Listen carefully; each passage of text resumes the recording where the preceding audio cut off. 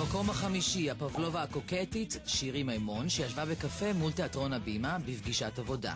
יושבת עם חברים. יפתח חגי, אני יודע, אתה כתבת את השיר עכשיו של סקאט? מימון לא אהבה שהשיחה עוסקת בזמרים אחרים ונזפה בצלם שלנו. צריך שאלות ענייניות. מה, את רוצה לאבא שאני אבוא עם שאלות מוכנות? מה שאני נראה טוב.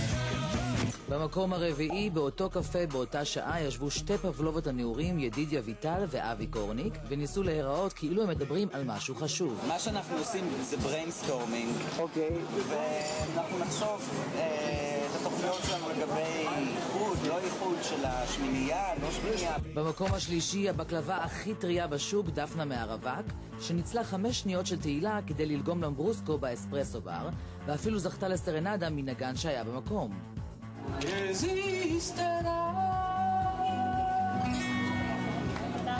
הצלם שלנו ניסה לברר עם מי היא משיקה כוסות וגילה שמאז שזכתה פיתחה מניירות, כנראה שלא רק היין עלה לה לראש. מה נשמע איתך?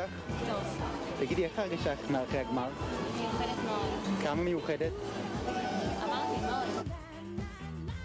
תשמע, היא גם מסתובבת בלי גיא, והיא גם לא נחמדה. אולי קרה ביניהם משהו, מי יודע מה קורה ביניהם. טוב, נו, הריאליטי שלה נגמר, ומה שקורה בינה לבין גיא גיאור הפסיק לעניין אותי עוד לפני שתוכנית הגמר שודרה. אז בואו נתקדם ונגלה מי המנחה מערוץ הילדים שעשתה סיבוב שופינג עם חברה בלתי נראית. במקום השני, דון לני גבאי, פבלובת פסטיגלים, שיצאה לסיבוב שופינג בקניון רמת אביב עם חברה, כנראה דמיונית. באתי עם חברה להסתובב קצת. איפה החברה? היא מחנה שם, אני מחנה כאן. היא הראתה לנו מה רכשה. בגד ים. את בוחרת בגד ים לבד או שאיפתי גם אה, אה, נותנת לא, איפתי רק? נהנה ממה שאני בוחרת. וניסתה לסחוט מהצלם שלנו כספים. אתה רוצה לשלם לי על הזה? אה, כמה זמן את חונה כבר? האמת שהרבה, נראה לי יעלה לי איזה 50 שקל עכשיו. במקום הראשון, פבלובה בהכחשה, מאיה דגן, שכבר מזה זמן מה מעמידה פנים שהיא בשיחת טלפון כשהצלם שלנו פוגש אותה. למרות שברור שאין איש על הקו. הפעם הצלם החליט להתעמת איתה. מאיה, זה טריק הטלפון, אני מכיר אותו. והיא נשברה והודתה. טוב, יאללה, לך, זהו. ביי. ביי. את צריכה לסגור.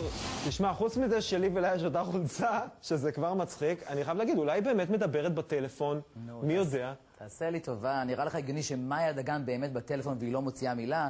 ההיא כל פעם שהיא מפבלבת בטלפון, השכנים שלה מתלוננים על הרעש, אני לא קונה את זה. אני גם לא מכריח אותך. תודה רבה לך, אבישי, ותודה לצלם שלנו, ניר פקין.